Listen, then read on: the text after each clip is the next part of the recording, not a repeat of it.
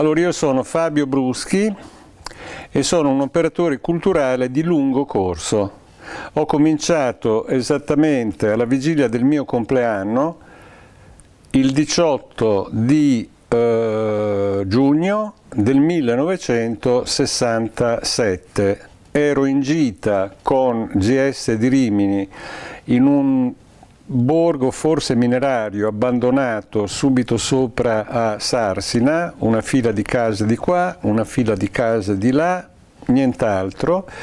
E allora ho pensato che lì si poteva organizzare una scena western, d'altra parte erano gli anni di Sergio Leone, Clint Eastwood e così via, eh, l'idea passò, poi c'era il problema di come organizzare una battaglia western divertente insomma. Allora ci sono vari sistemi, c'è quello del numero che uno lo porta qui, l'altro ti vede, comunica il numero e il giudice dice ah ok morto, però non è proprio fantastico. Allora l'unica volta che una lezione di chimica eh, al liceo classico Giulio Cesare di Rimini mi è venuta buona, prima e unica mi sono ricordato delle cartine al tornasole che reagiscono all'acido. Allora ho detto, bene, prepariamo una tanica, ci spremiamo dentro svariati limoni, i partecipanti al war game, come si sarebbe chiamato dopo, ma all'epoca parlavamo italiano, eh, possono benissimo vedere se hanno colpito o meno il cuore alla cartina di tornasole dell'altro perché il cuore a quel punto si macchia di rosso. Questa è stata la prima cosa che io abbia organizzato in vita mia. Per il resto io sono nato il 19 giugno del 1949, per mera coincidenza è la data di nascita del duca di Rimini Sigismondo Pandolfo Malatesta, ma non apparteniamo allo stesso segno zodiacale, lui è un cancro, come si vede al museo in quella bellissima gran seola scheggiata, io invece sono dei gemelli, come si sarà capito. Perché? Perché nel frattempo c'era, stato il passaggio dal calendario giuliano, Giulio Cesare, al calendario gregoriano. Avevano mangiato quel par di settimane di, di, giorni, per cui quella volta il 19 di giugno era eh, cancro e invece dopo Papa Gregorio era dei gemelli, segno che direi mi si attaglia piuttosto, piuttosto bene. Um, essendo nato nel 49 faccio parte della generazione che gli anglofoni dicono dei baby boomers, che va più o meno dalla battaglia di Londra 42, 43, 41, quelle parti lì, fino addirittura al 64, questo stando agli standard. Io sono nato nel cuore di questo periodo, perché sono nato nel 49.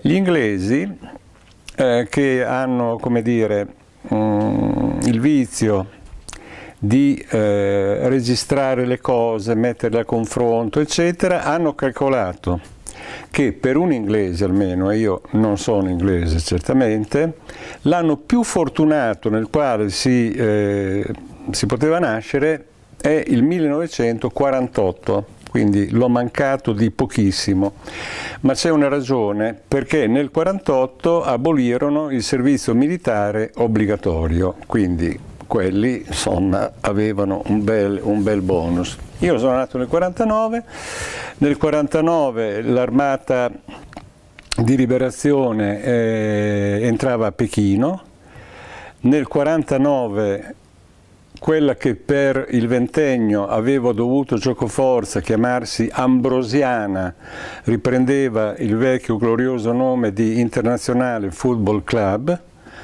sono stato interista perché i ragazzini della mia via, che peraltro mi vessavano, essendo io piccolo e democristiano, um, però poi sono cresciuto e alcuni di loro hanno avuto a dolersene, uh, erano tutti juventini.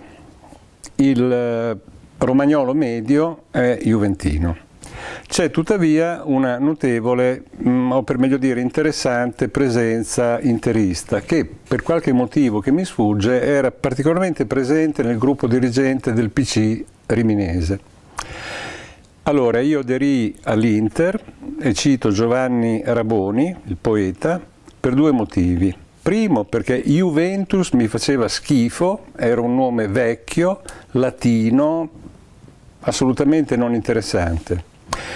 Internazionale è un bellissimo nome, internazionale. Peraltro l'Inter si chiama internazionale proprio per quello, perché a differenza di quelli del Milan che volevano giocare solo con eh, gli italiani nati sul patrio suolo, la fazione che poi dà vita all'Inter diceva no, eh, se c'è uno svizzero che vuole giocare con noi, che giochi insomma.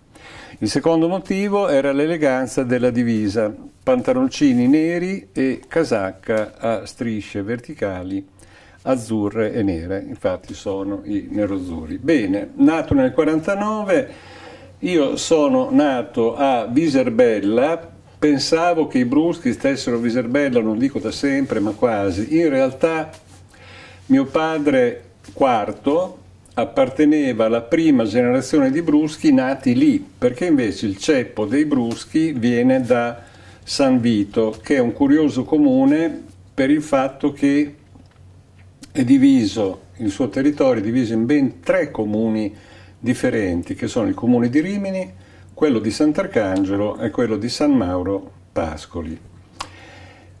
Tutti i fratelli e le sorelle di mio padre non studiarono, intrapresero attività eh, appunto imprenditoriali, per cui chi aprì un bar, chi aprì una pensione, chi aprì un albergo e così via e fecero molti più soldi di quelli che mai abbia fatto mio padre. Mio padre, eh, fortunatamente, era nelle grazie del parroco di Viserba, il quale dopo due anni di eh, stop alla fine delle elementari, siccome mio padre alla lettera non era capace di battere un chiodo, suo padre era falegnami, bruschi di San Vito sono falegnami, non riusciva neanche a battere un chiodo, quindi forse la famiglia ha preso con sollievo che il parroco di Viserba prendeva Bruschi IV, non si è mai chiamato quarto Bruschi, sempre Bruschi IV, ma d'altra parte mi pare abbastanza ovvio, tipo Viroli I, Brunori II, Alemanni III, Bruschi IV e niente, potei studiare, all'inizio allora era una pratica comune, lo indirizzarono al seminario, insomma comunque poi dal seminario uscì praticamente subito, fece il ginnasio, che allora si chiamava eh, appunto così, prima, seconda, terza, quarta e quinta ginnasio, la quarta e la quinta erano, al, erano, le prime due classi del liceo classico Giulio Cesare di Rimini, che mio padre frequentò, nato nel 1918, quindi si è fatto tranquillamente tutto il ventennio da, da Cinno e poi via via via, e, e, quindi è stato nello stesso istituto, nella stessa classe dell'avvocato Veniero Ackerman, che è venuto meno pochi mesi fa, in quest'anno di grazia 2017. Bene, madre, madre Idina Brunori, detta Idina perché il posto di Ida era già occupato in famiglia. Sua nonna, quindi mia bisnonna, si chiamava Ida, Ida Tamagnini in Mazza, cioè coniugata Mazza. I Mazza come clan erano i Ravon e quindi mia bisnonna diventò Lida ad Ravon.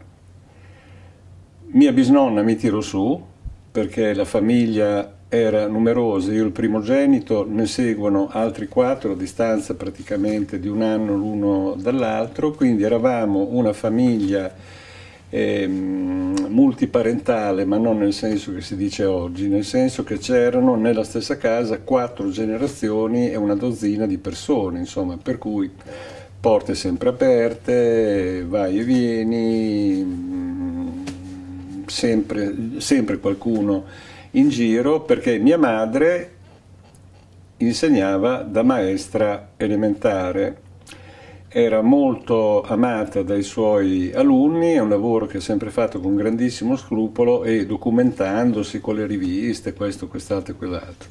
Sia mio padre che mia madre erano eh, cattolici e democristiani e appartenenti alle varie associazioni cattoliche per cui che fossero le ACLI, mio padre di sicuro, o l'Unione Maestri o qualcosa del genere, o la CISL. Per entrambi l'ambito era quello lì. Bisogna dire che questo tipo di ambito era del tutto minoritario nella famiglia originaria di mio padre, nei Bruschi, perché suo padre, Antonio, detto Tugnos, era socialista nenniano, quindi poco a che spartire. Eh, analogo ma diverso il caso di mia madre perché al borgo San Giuliano praticamente la cosa era molto semplice, le donne andavano in chiesa, i maschi no, punto.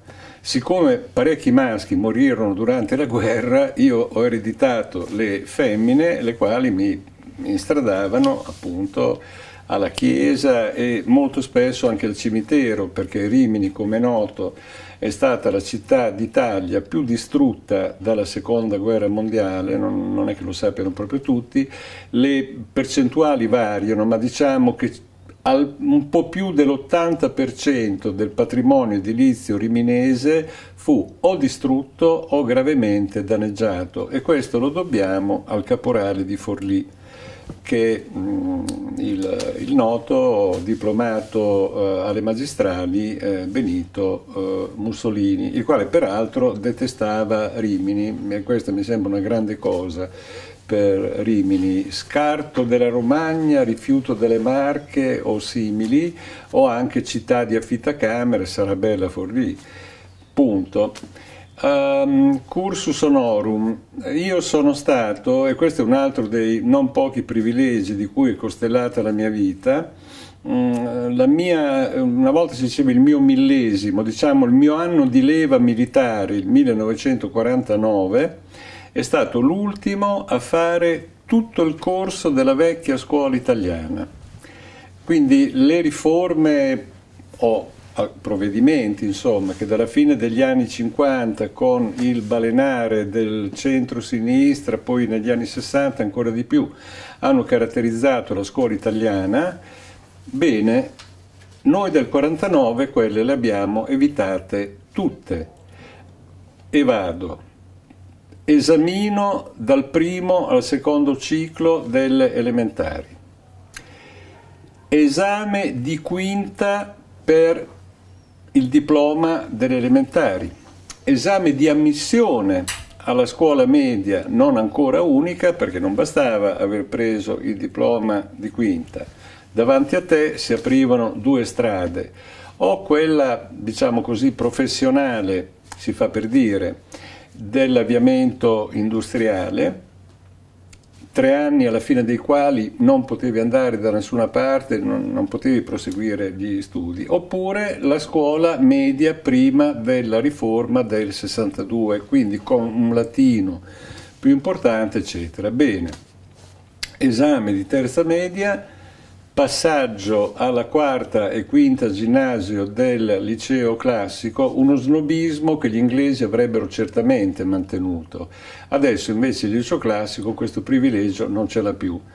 Prima, seconda, terza, quarta, quinta. Invece all'epoca era quarta ginnasio, quinta ginnasio, esame di passaggio tra il ginnasio e il liceo, dice con commissione interna, sì, ma composta dai docenti del classico, per cui, voglio dire, non era certamente una passeggiata. Arriviamo all'ultimo anno che è il 67-68 e anche lì abbiamo la fortuna di farci l'ultimo esame di maturità classico. Cosa vuol dire?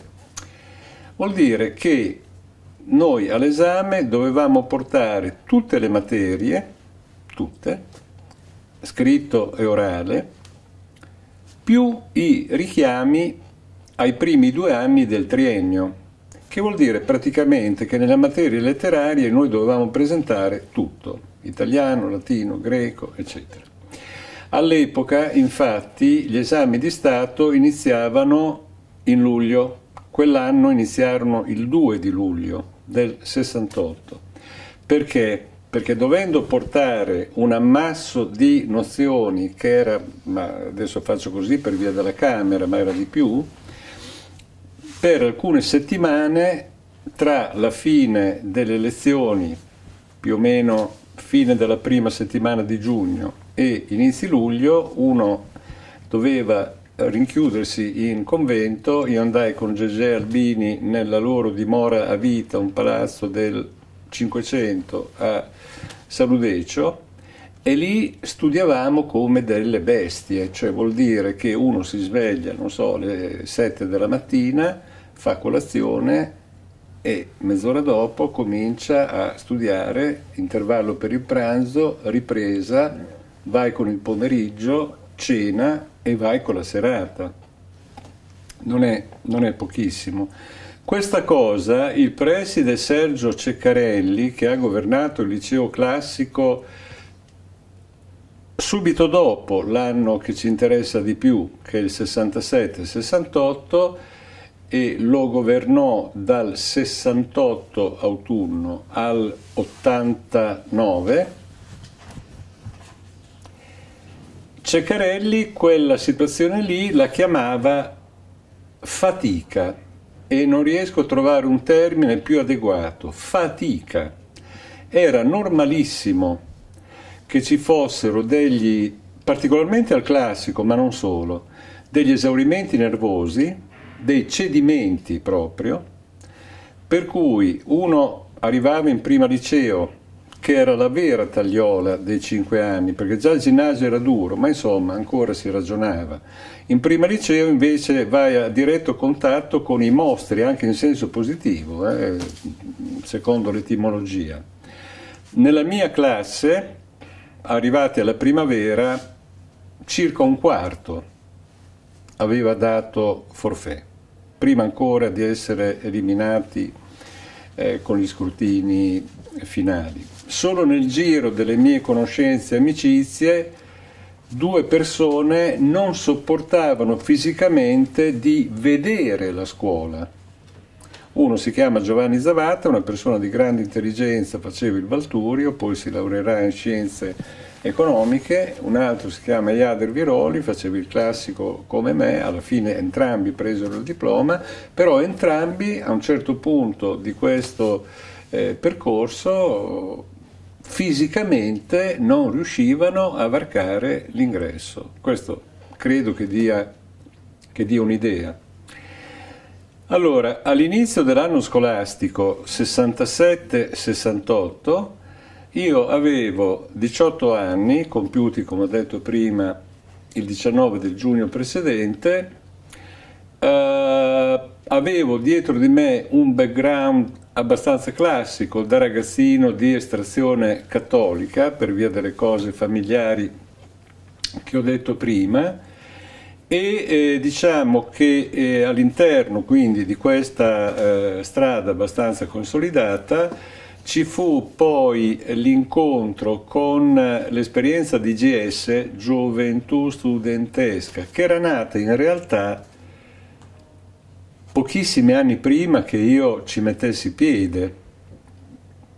Io ci misi piede nel 64, quindi all'inizio del mio secondo anno di ginnasio, era una tre giorni, si svolgeva qui vicino a Cattolica ed era l'antenata non tanto lontana del ben più celebre meeting per l'amicizia tra i popoli, bla bla bla.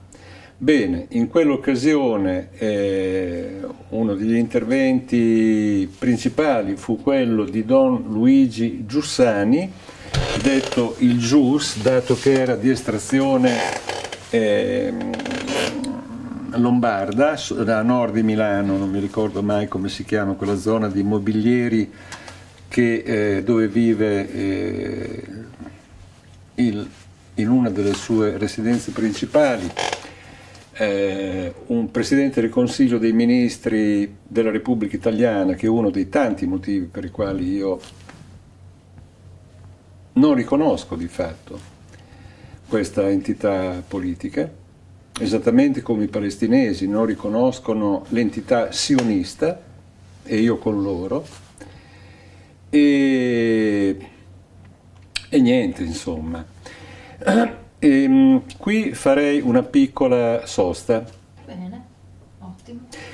E ero arrivato perché stavo perdendo il filo perché ho fatto questo excursus no, no, Palestina. No, no, ho capito, ma ero arrivato. Ah sì, ero arrivato al 64. Sì, sì, adesso posso benissimo riprendere e andiamo a rete, almeno speriamo.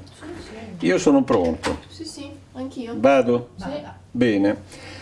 Dicevo che nel 64 incontrai l'oratoria di Don Luigi Giussani, detto il Gius, e, e, mi sembrava che questi qui di GS, che avevano quattro anni più di me, in realtà avessero una tradizione ma molto più vecchia, molto più importante. In un certo senso era vero perché GS a Milano nasce nei primi anni 50, in realtà nasce eh, subito dopo la guerra, però insomma diventa quello che diventa con Giussani nei primi anni 50, quindi in realtà GS di Milano nel 64 aveva già una dozzina di anni eh, di vita buoni buoni.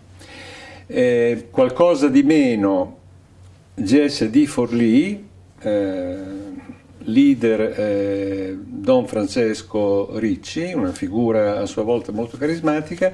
In ogni caso, di Giussani mi colpì la sua capacità di toccare le corde esistenziali. Giussani part non partiva mai da, da, un dogma, dalla teologia, da una ricorrenza, roba di questo genere. Giussani partiva sempre da te.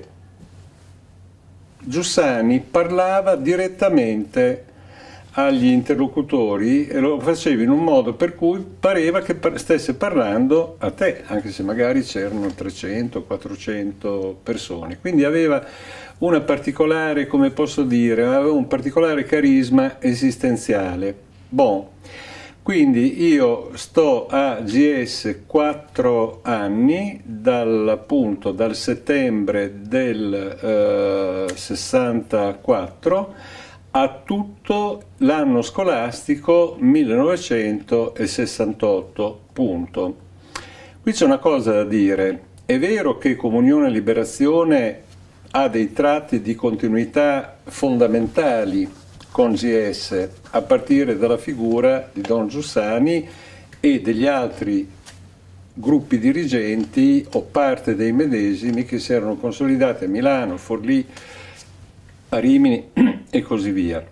Tuttavia c'è una differenza fondamentale e la differenza fondamentale è questa. Comunione e liberazione, diciamo, come dicono gli inglesi, ti accompagna dalla culla alla tomba, from cradle to grave. GS non era così, anche per ragioni di giovinezza. A me sembravano molto vecchi, quelli più vecchi di me, ma in realtà GS l'avevano costituita solo due anni prima. È una cosa alla quale prestare attenzione perché è indice della capacità di GS di creare tradizione e la capacità di creare tradizione è un collante molto, eh, molto forte, come si vedrà poi nei decenni eh, successivi. La differenza con, tra CL tra le altre è questa. A GS c'erano, diciamo, degli autori consigliati, no? Uh, Sharpeghi, uh, poi um, J.K. Chesterton, quello di Padre Brown, eh, dell'uomo che fu giovedì, l'osteria volante, eccetera, eccetera.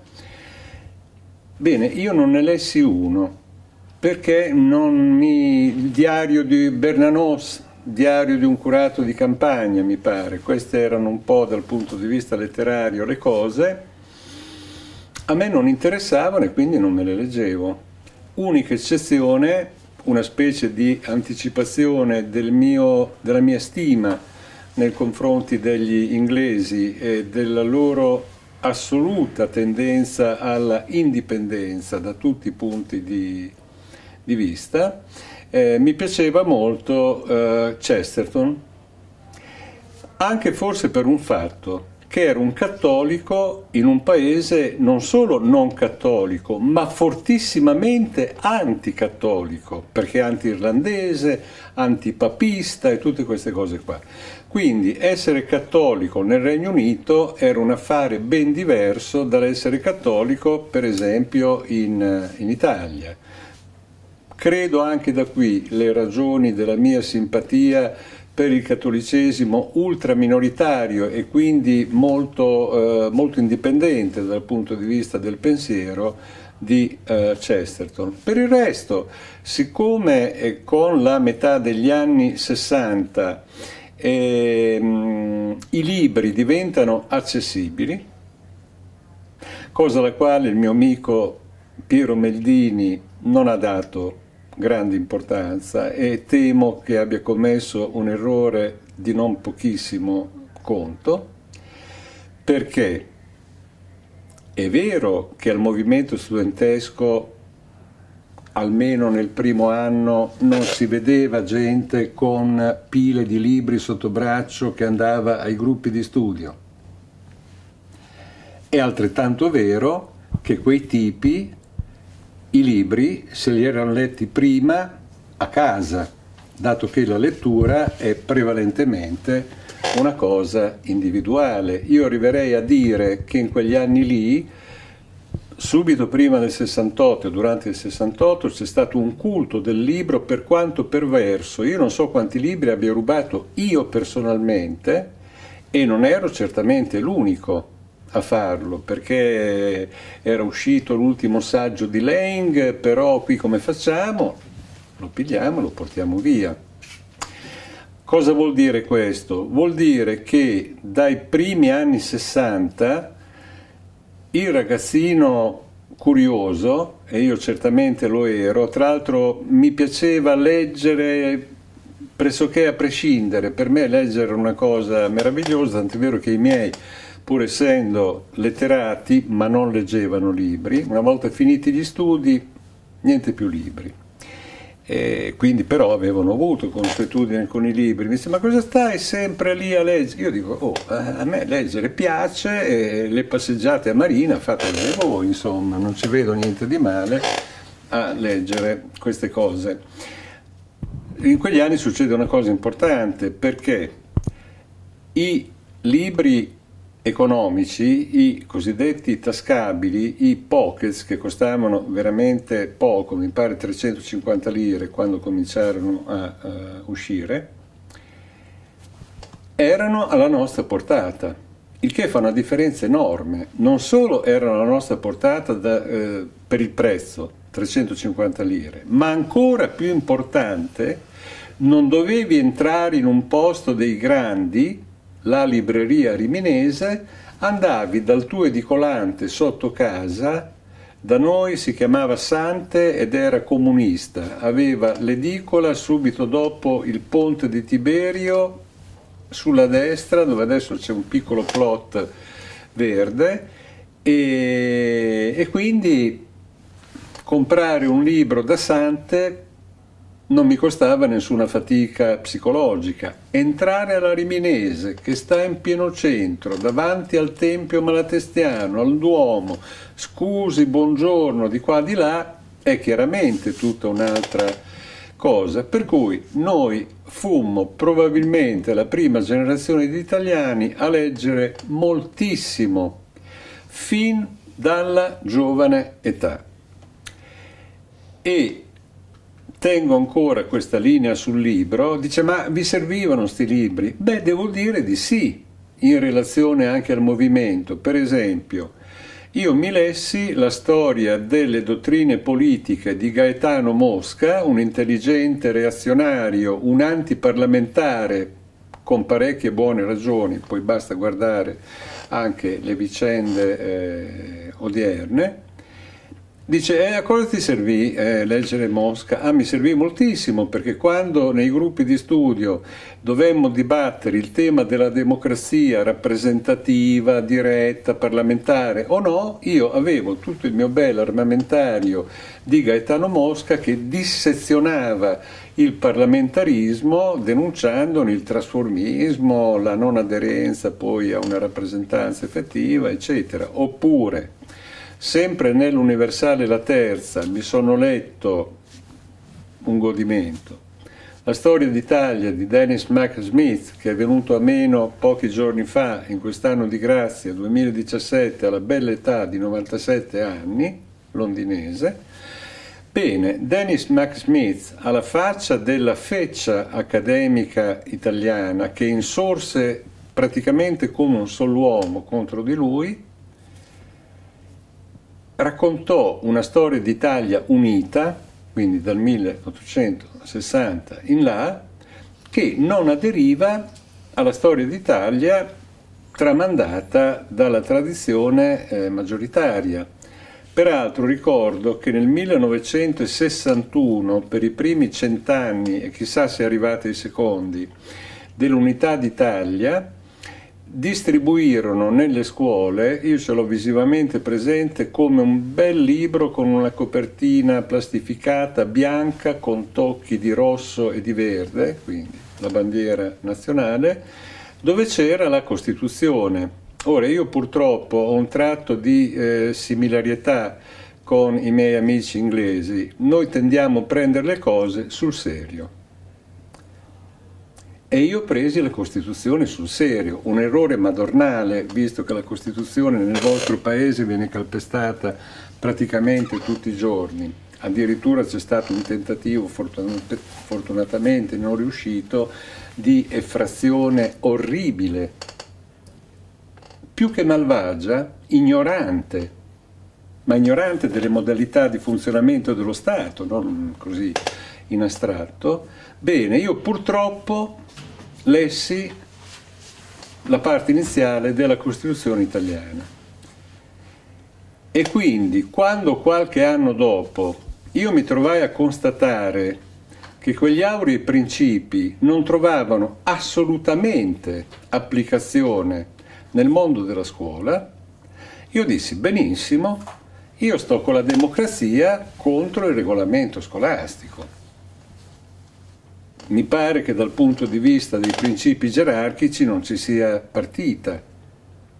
Quindi questo vale probabilmente magari solo per me, però adesso parlo per me, per me è certamente stato così. Andiamo in dirittura finale. Cosa succede a Rimini?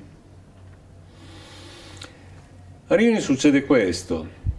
Nelle scuole riminesi che che ne dicano i sinistrorsi post factum, la presenza di gran lunga più importante tra gli studenti e probabilmente anche tra gli insegnanti, ma studenti e insegnanti, tranne rarissime eccezioni, appartenevano a mondi diversi.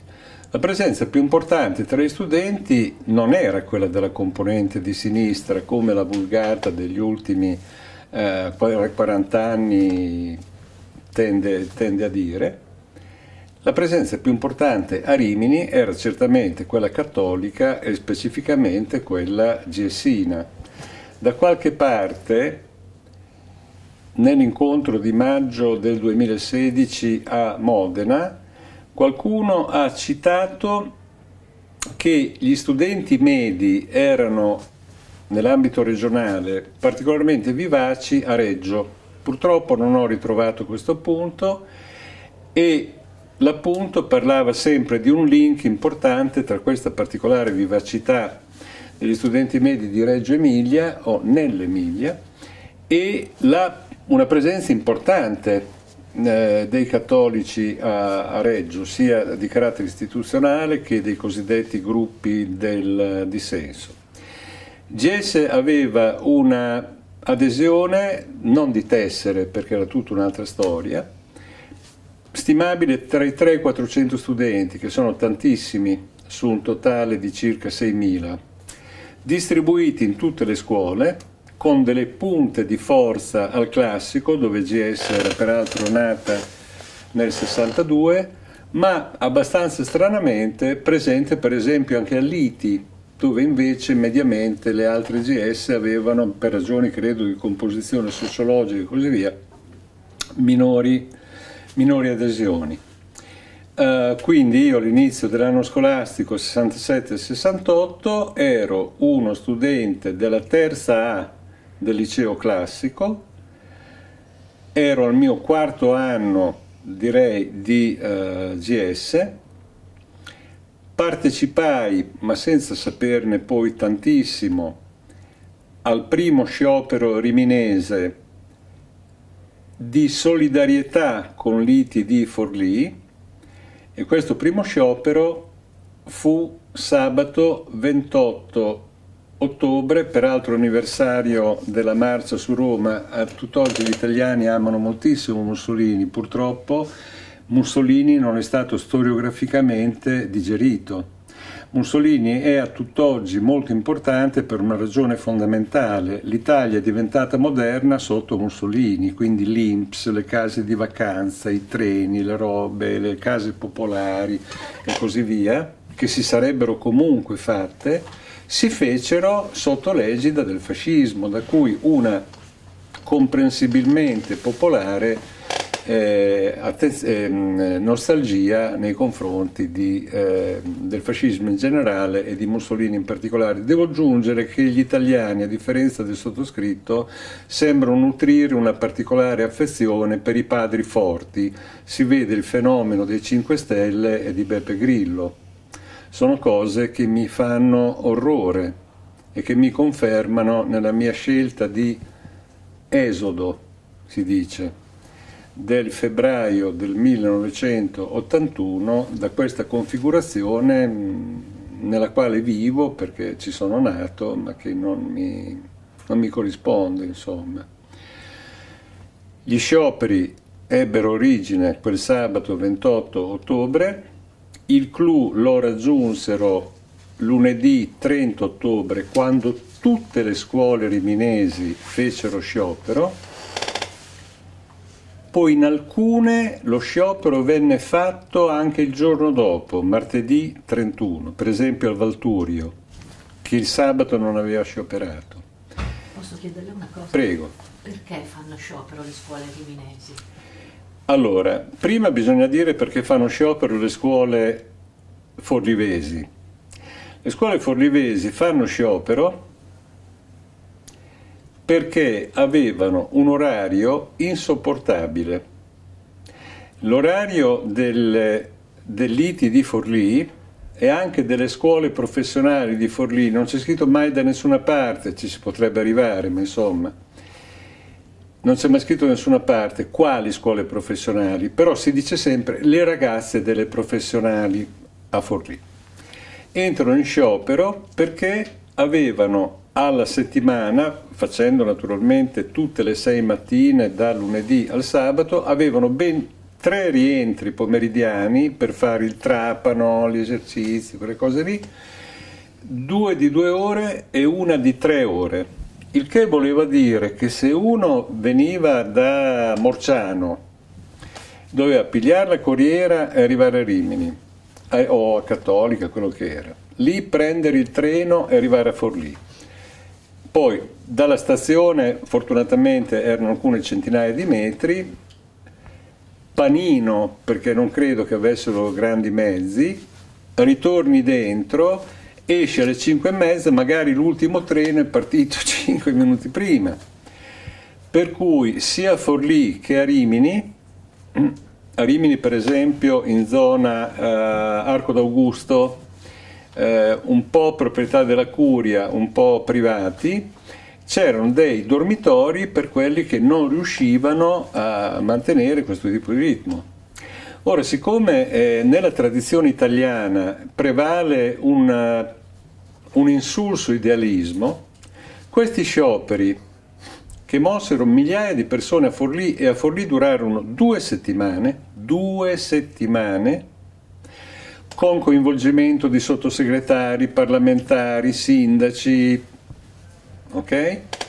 e vinsero, nel senso che alla fine il sottosegretario DC alla pubblica istruzione Giovanni Elkan, sollecitato dai parlamentari locali che dicevano qui bisogna stringere, eh, fece passare l'ipotesi dell'orario unico. È un'importanza enorme, vuol dire che io per tre giorni alla settimana, invece di star lì a mangiarmi il panino con la mortadella, prendo un treno alle due e me ne torno a casina mia, che è tutta un'altra cosa. Bene, questa cosa qui, gli idealisti italiani dice ma sì, erano scioperi sindacali, erano scioperi corporativi, gli obiettivi erano, bah, insomma, una questione di, mi sembra di ricordare di orari di corriere. Complimenti, ma complimenti. Tanto non eri tu che dovevi fare i tre rientri alla settimana e farti un culo tanto, dormire in un posto lercio e fare spendere soldi ai tuoi genitori e roba di questo genere. E B, gli studenti deliti di Forlì dopo qualche giorno lanciarono un appello alla solidarietà di tutti gli istituti medi superiori della provincia, non solo gli ITI che c'erano anche a, a Cesena, a Ravenna per i fatti loro, a Rimini e così via.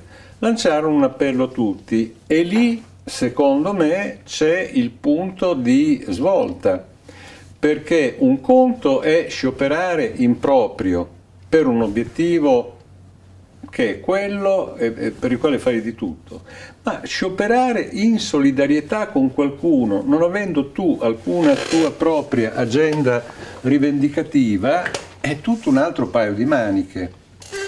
Cosa successe? Successe che lo sciopero del sabato 28 già andò bene e ci fu un radunarsi nella cosiddetta sala mostre del distrutto Teatro Comunale di Rimini.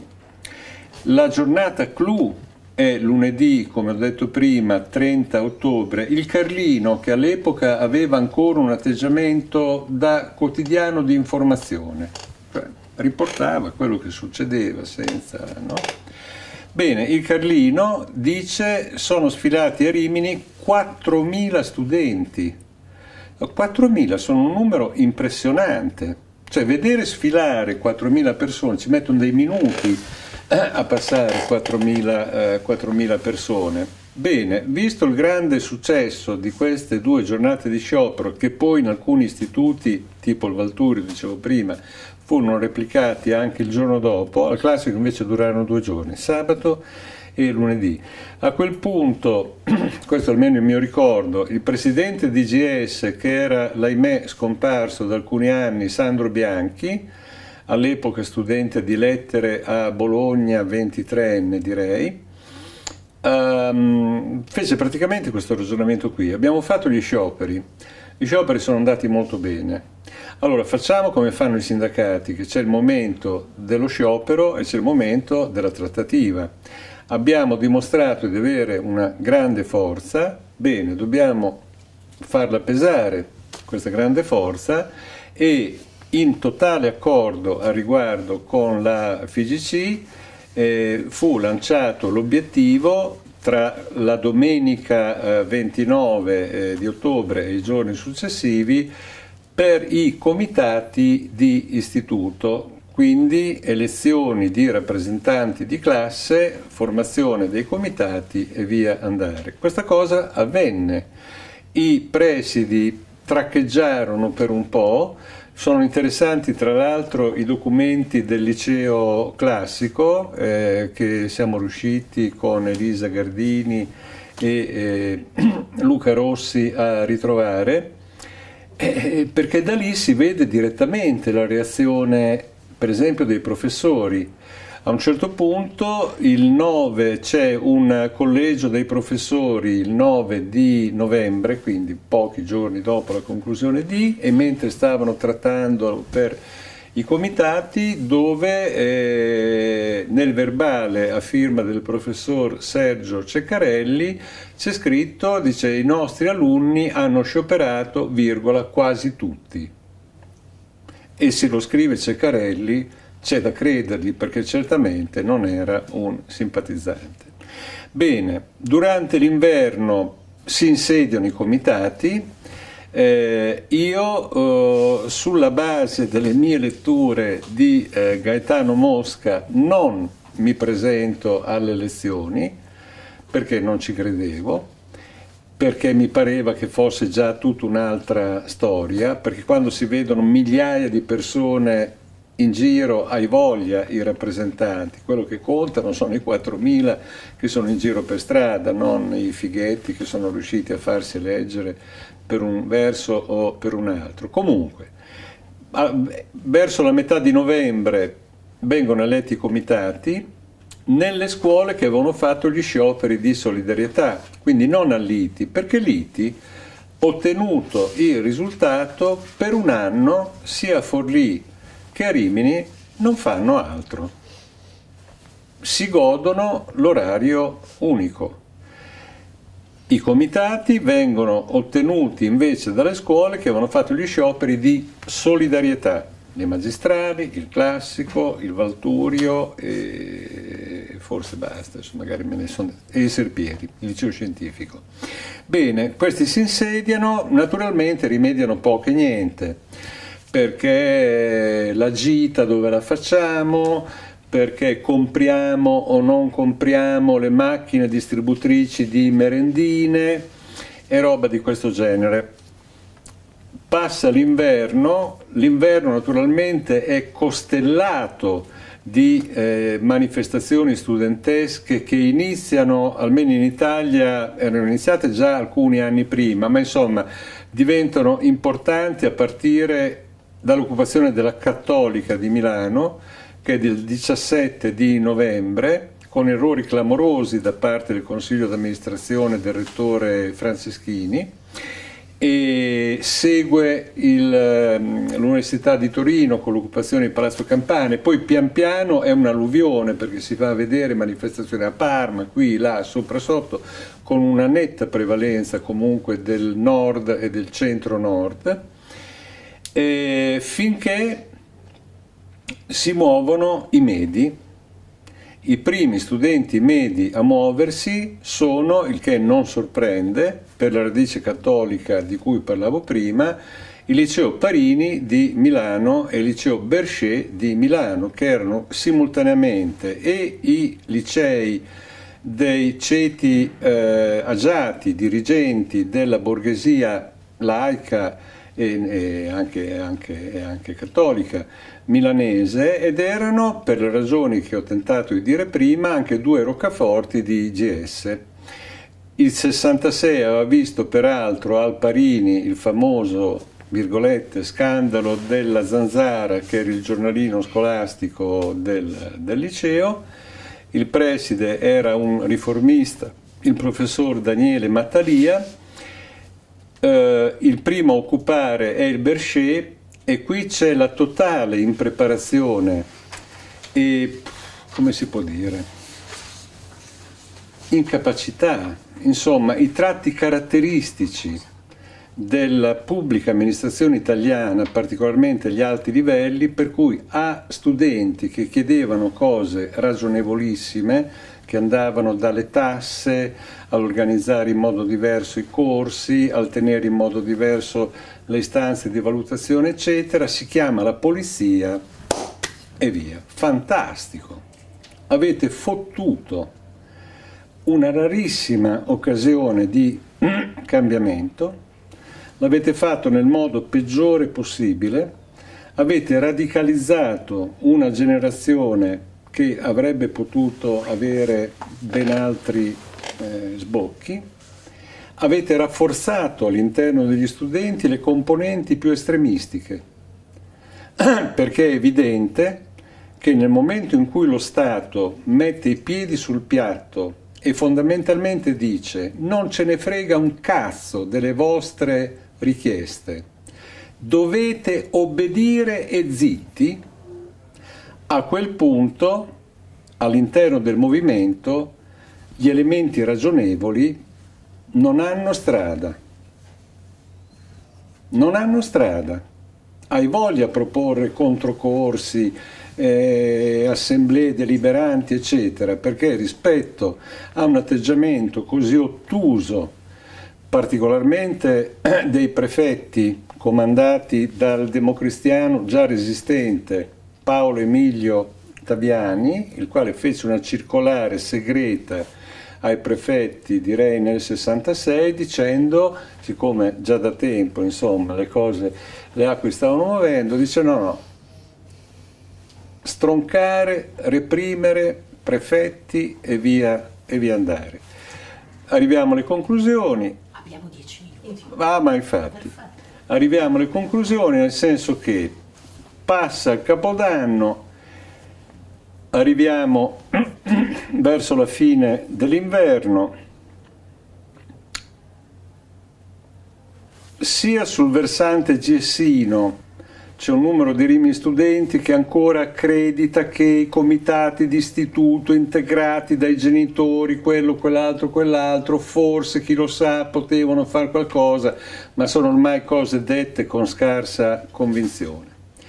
Alla fine di febbraio, sull'altro versante, quello dei partiti di sinistra e laici, c'è un eh, convegno cittadino di cui ho scoperto l'esistenza solo ieri, sui comitati di istituto, ma anche lì non si va più da nessuna parte, finché con un'iniziativa molto ben coordinata tra le quattro scuole principali, nella settimana che va dal lunedì 18 marzo 68, che poi è la notte dei fuochi di San Giuseppe al Fugarazi, all'epoca prima dello sterminio attuale eh, da sanitarismo americano, c'erano in tutta la Romagna, ci sono state fino a qualche lustro fa, una festa autenticamente popolare che erano le fogaracce di San Giuseppe. Bene, durante quella settimana le quattro scuole fanno le assemblee e decidono, stringo, di occupare i propri istituti la settimana successiva in modo cadenzato. Quindi voglio dire, il movimento studentesco di Rimini non è che ha fatto una roba così, così, così. Siccome era ampiamente strutturato da una parte da GS, dall'altra parte dai movimenti giovanili, eh, formali o informali che fossero, con una prevalenza ma non debordante tra questi ultimi della Federazione Giovanile Comunista Italiana, eh, L'iniziativa viene fatta in questo modo.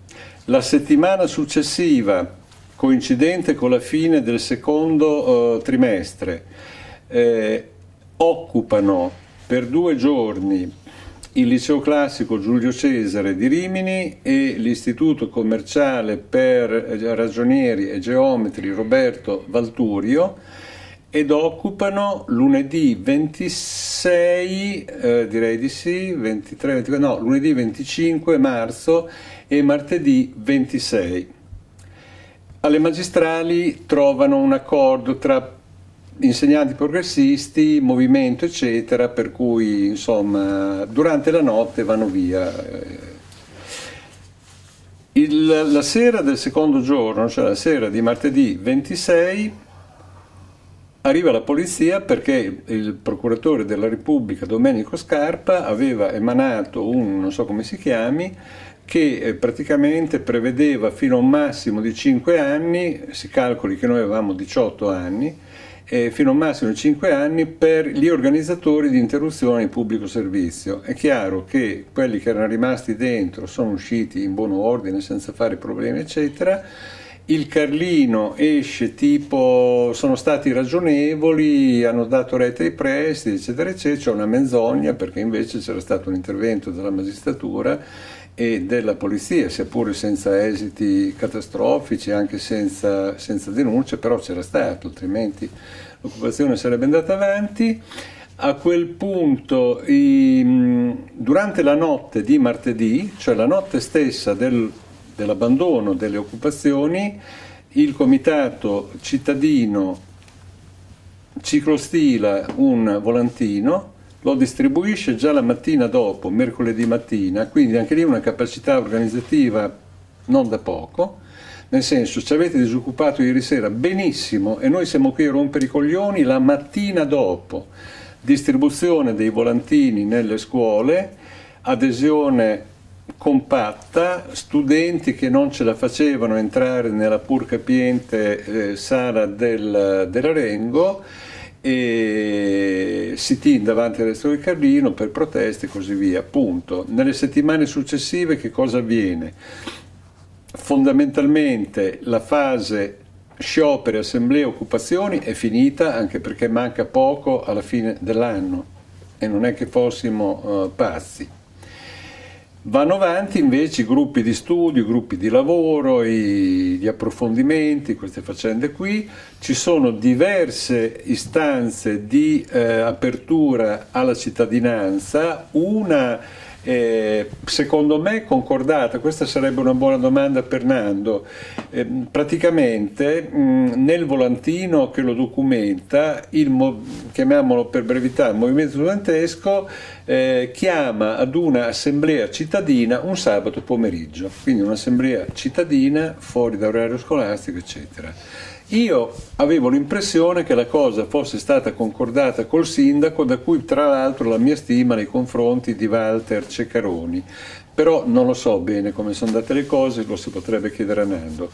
Moltissime sono le occasioni di confronto all'interno del mondo cattolico, sono troppe perché io le posso citare tutte, a partire dalla più importante che avviene pochi giorni dopo, domenica 7 aprile, eh, introdotta da una relazione del dottor Ugo Trivellato del gruppo del Mulino come area di riferimento eh, dell'Università di Padova, mm, un riformista diciamo per quanto riguarda la scuola, c'è questo, eh, questo incontro cittadino Sala dell'Arengo domenica mattina strapiena, io faccio una relazione su ehm, su quello che era successo tra ottobre e, e marzo e lì leggiamo un documento che verrà pubblicato nel libro dell'istituto, il documento frutto del lavoro dei gruppi di studio del liceo classico che indicava non una piattaforma rivendicativa, come dire, già tutta strutturata,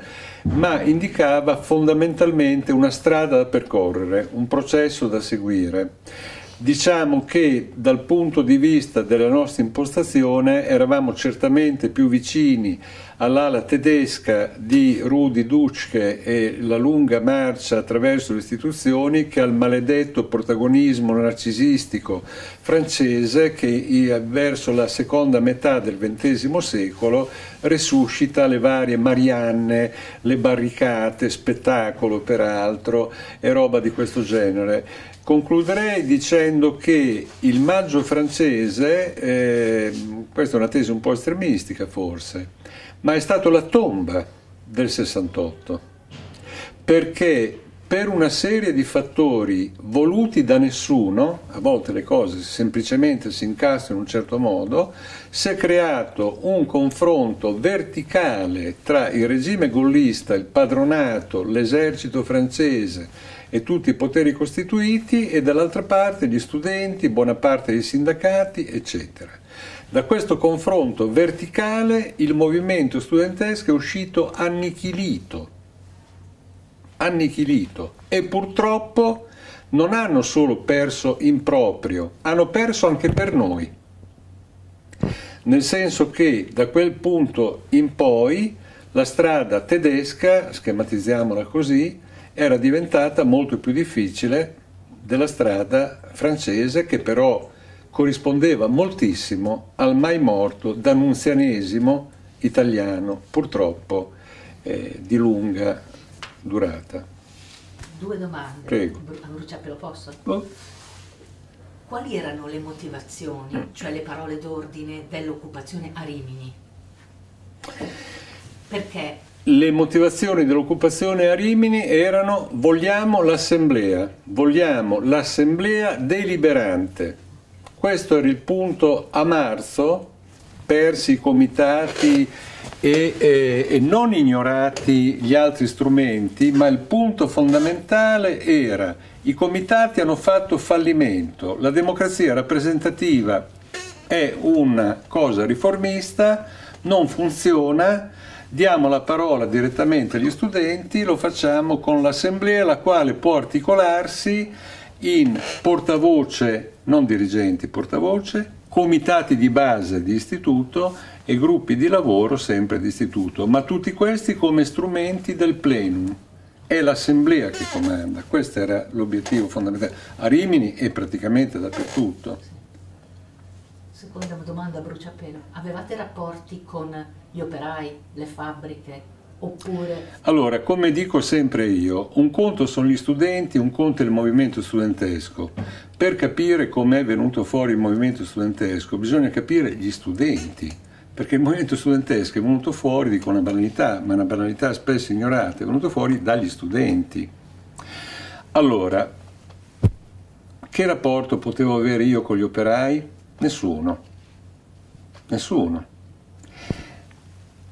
il rapporto del movimento studentesco che è l'esito del movimento degli studenti iniziano nell'autunno successivo.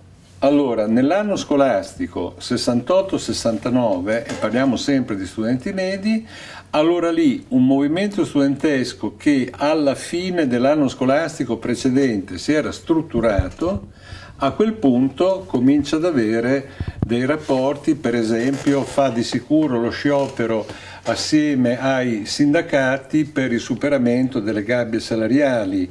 Quando c'è poi l'eccidio eh, dei braccianti agricoli ad Avola, gli studenti partecipano a numerose manifestazioni sindacali di protesta contro la brutalità della polizia e così via però per quanto riguarda l'anno che è stato oggetto delle nostre ricerche, cioè il 67-68, mi viene da dire rapporti con operai organizzati o non organizzati, nessuno, tranne, tranne, e potremmo chiedere su questo, nella primavera c'è uno sciopero inaspettato in una zona bianchissima del paese, che è la provincia mh, di Vicenza, Valdarno, Conte Marzotto, paternalismo padronale, le casine per gli operai, eccetera, eccetera, operai a loro volta cattolici democristiani, cislini, insomma certamente una zona nella quale la CGL contava poco e niente, per non dire del Partito Comunista il primo operaio che sia arrivato nella sede dell'astrolabio che dalla fine della primavera il circolo omonimo passò al movimento studentesco, no, così rispondo alla domanda, perché non è vero, nessuno. Fu con un giovane operaio che veniva da, da Valdagno e che veniva soprannominato Valdagno, dormiva al pian terreno del palazzo Brighenti nella via omonima dove c'erano i cenciaioli di Emmaus che erano una calamita piuttosto notevole di dropouts di vario, di vario genere, tra i quali c'era questo giovane operaio, il quale, voglio dire, potendo vantarsi di avere fatto parte delle giornate contro il conte Marzotto, presso di noi godeva di un qualche credito. Va bene? Ah sì, chiedo scusa, se no mi trascinavo.